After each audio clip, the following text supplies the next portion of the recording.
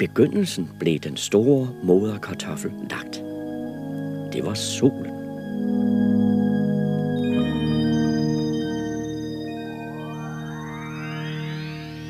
Og solen spirede og satte knolde, og en af knoldene blev til jorden.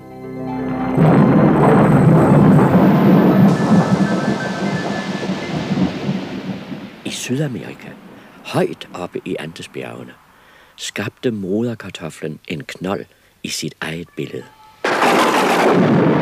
Og den spirede og satte knolde i jorden. Således kom den vidunderlige kartoffel til verden.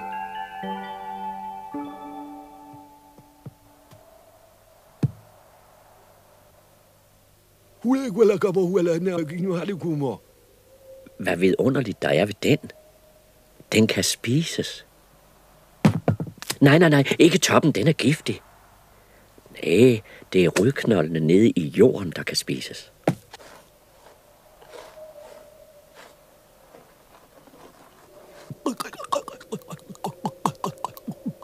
Og hvis man gemmer en af dem i jorden,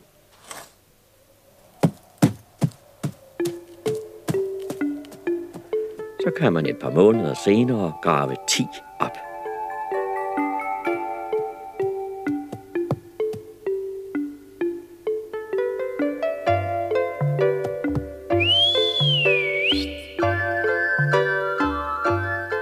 Indianerne i Andesbjergene er de første mennesker, der lærer kartoflen at kende.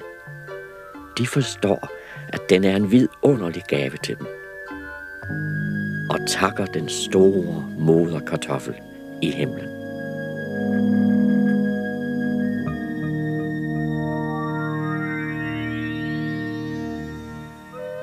Gennem tusinder af år lærer indianerne sig at dyrke kartoflen på terrasser i bjergene.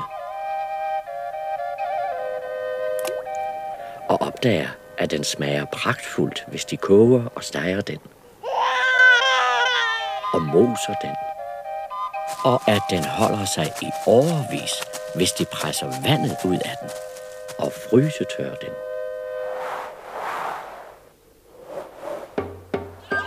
Og de laver kartoffeløl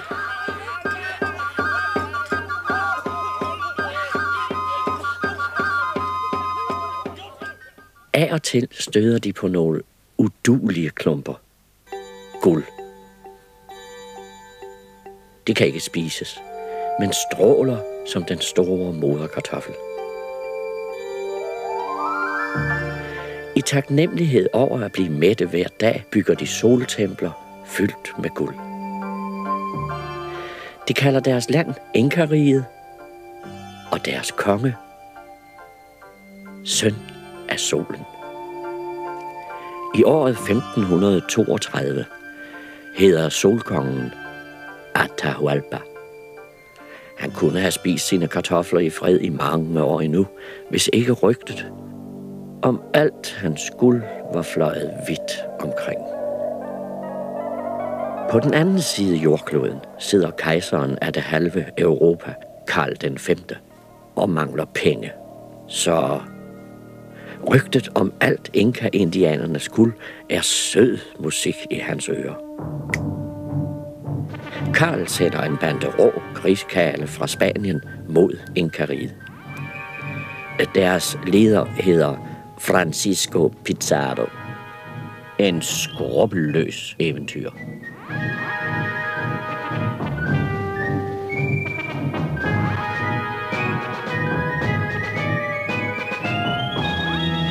Spanierne er raske folk.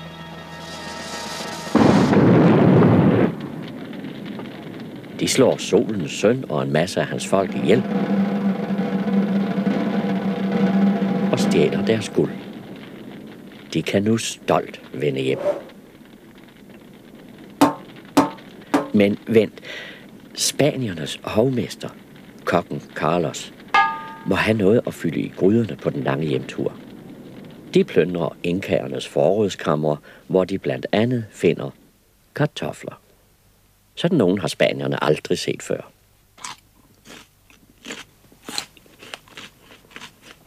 selvom smagen er lidt uvandt, beslutter Carlos at tage dem med. For en sikkerheds skyld. Og så går det hjemme tungt lastet med inkaguld. Carlos serverer kogt, saltet kød og sin nye opdagelse, kartofler. De fleste af folkene vil kun have kød. Det er de vant til. På den måned lange sørejse har det saltede kød dog svært ved at holde sig frisk.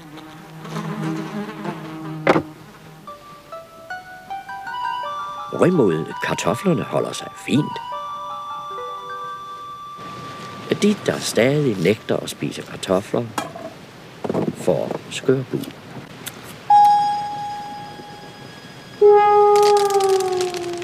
Og mange af dem dør. Mens de, der pænt spiser deres kartofler, trives fint. Man ved endnu ikke, at det er fordi kartoflen indeholder det livsvigtige C-vitamin. Men Carlos forstår, hvilken vidunderlig gave kartoflen er.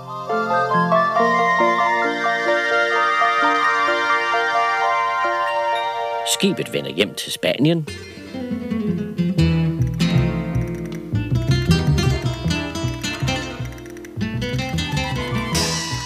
Kejser Karl tager alt guldet, og Carlos får, hvad der er tilbage af kartoflerne. Stolt bringer han det bedste, han har fundet i det fremmede, hjem til sin hustru.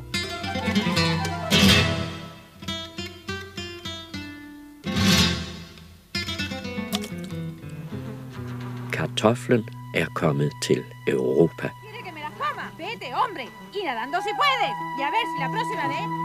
Og her åbenbarer den endnu en storartet egenskab.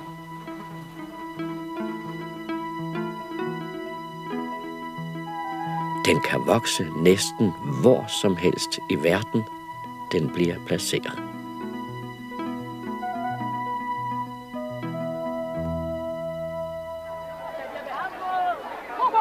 Carlos prøver at overbevise sine medmennesker om, hvilken vidunderlig spise kartoflen er. Men ingen kan se det vidunderlige. Man har dyrket korn i årtusinder. Hvorfor dog ikke blive ved med det? Carlos må igen tage job som kok og drager med den spanske her rundt i Europa. Undervejs prædiker han kartoflens budskab og får lagt en enkelt i jorden hist og her, men møder hver gang det samme spørgsmål. Hvad vi under det der, den? Den. Carlos giver op.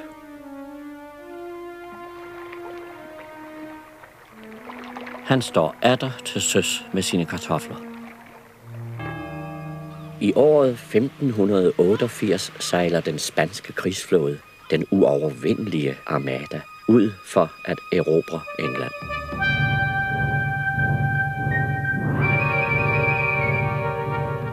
Men øh, den engelske flåde ligger på lur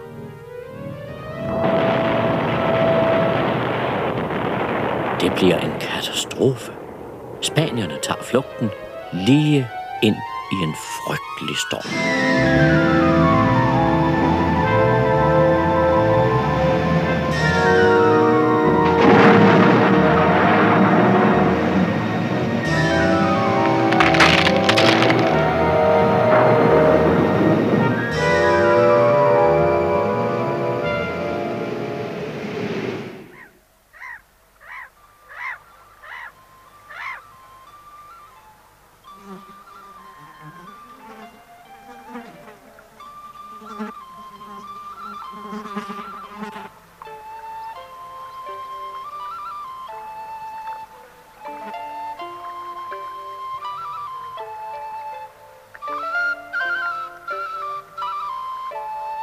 Og sådan kom kartoflen til Irland.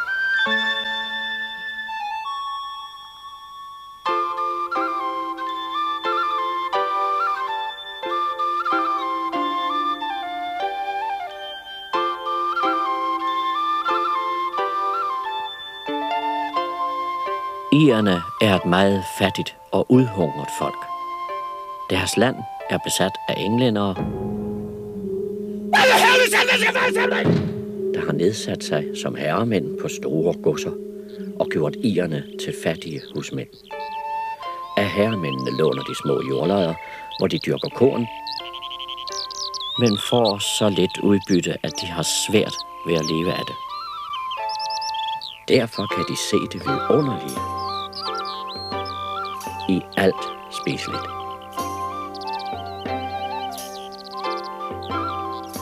Carlos lærer irerne kartoffeldyrkningens kunst. Og finder endelig fred blandt sine elskede knolde.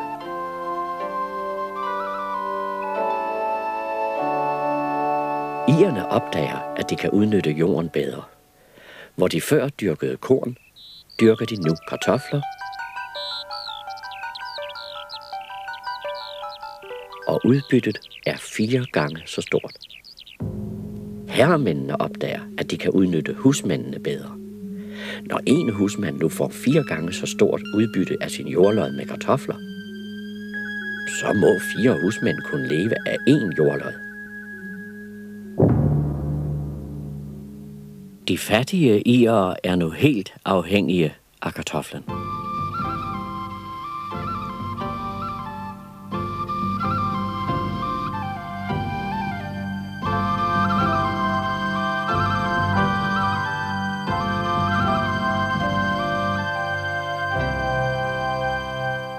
Resten af Europa er der stadig modvilje mod kartoflen.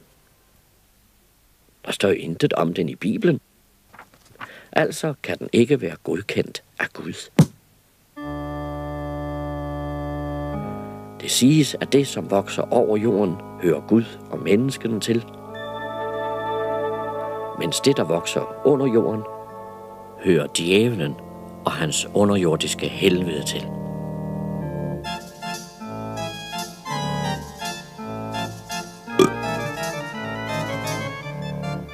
I 1618 flytter helvede dog, som så mange gange før siden, op på jorden. 30-årskrigen bryder ud i Europa. Bøndernes kornmarker brændes af.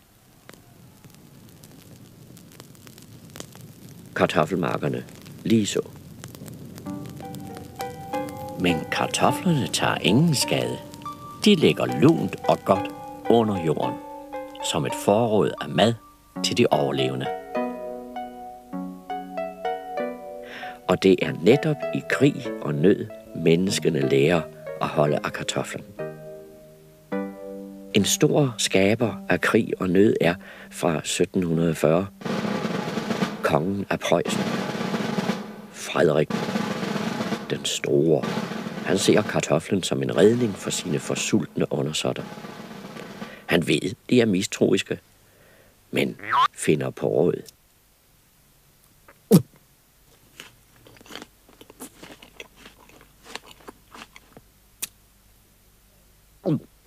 Ikke alle behøver at tvangsfodres.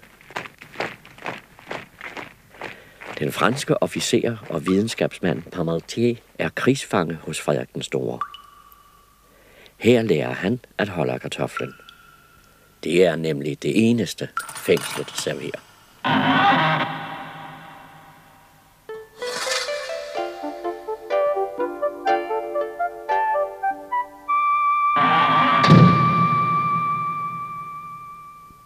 Vel hjemme i Frankrig prøver Parmentier at overbevise de fattige franske bønder om, hvor god og nærende kartoflen er.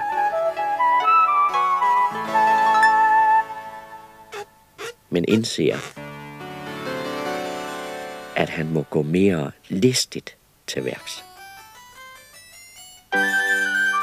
Han introducerer kartoflen som højdepunktet ved en pragtmiddag for kongen, Louis den 16. Dronningen Marie Antoinette får en buket af kartoflens yndige blomster.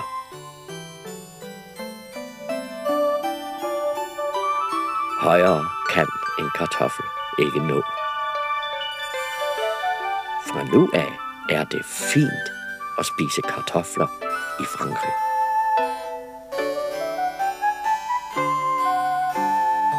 For at gøre det endnu finere, sætter Parmentier hegn og vagt om sin kartoffelmark. Vagten sendes dog hjem om natten, og det går, som Parmentier har forudset. På forunderlig vis vokser der nu kongelige kartofler i fattigfolks haver. På samme tid, i løbet af 1700-tallet, bliver kartoflen kendt i de nordiske lande. Man opdager, at den er god at lave brændevin af.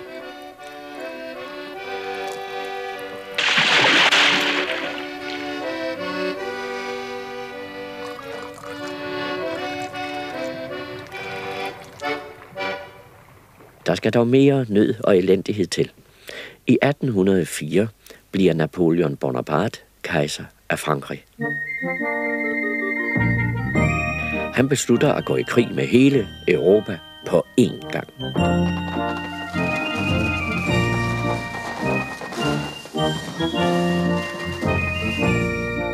Hungersnød følger i krigens spor, og kartoflen bliver en livsnødvendighed.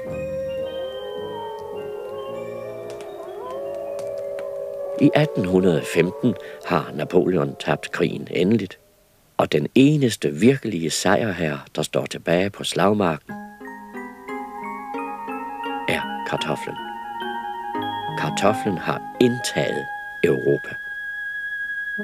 Fra at være et ildeset supplement til det daglige brød, er den nu blevet den vigtigste føde for millioner af mennesker.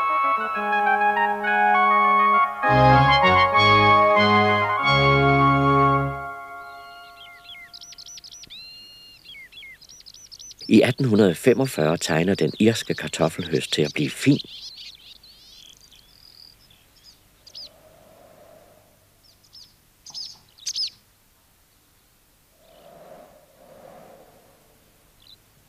Men hvad er nu det?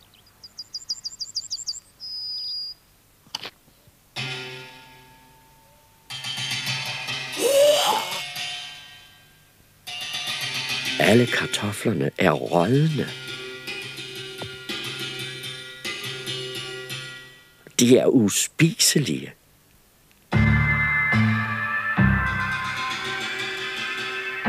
Over hele Irland rådner kartoflerne op på markerne. Det går lynhurtigt, og der er intet at stille op. En frygtelig og hidtil ukendt kartoffelsygdom bryder ud overalt.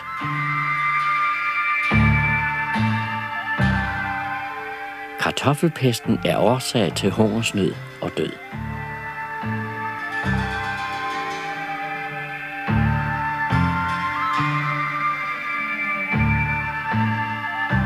Ierne, der næsten udelukkende lever af kartofler, er hårdest ramt. Fra 1845 til 1847 dør over 1 million mennesker af sult.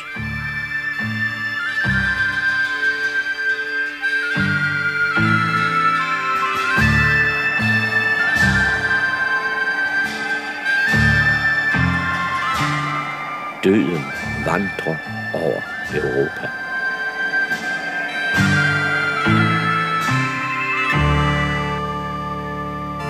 Nogle mener, at det er Guds straf over de syndige mennesker. Andre arbejder intenst på at kurere den syge kartoffel. De finder ud af, at sygdommen skyldes en hurtigt voksende skimmelsvamp. Men intet kan de stille op for at stanse den. Da alt ser sortest ud, er det kartoflen selv, der tager kampen op. De bedste eksemplarer opbygger langsomt modstandskraft mod svampen.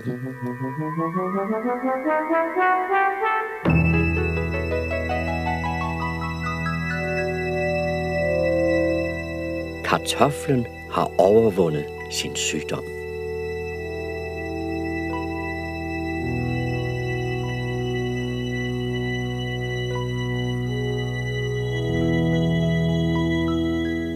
følgende 100 år frem til vor tid vandrer kartoflen jorden rundt og fuldfører sin succes.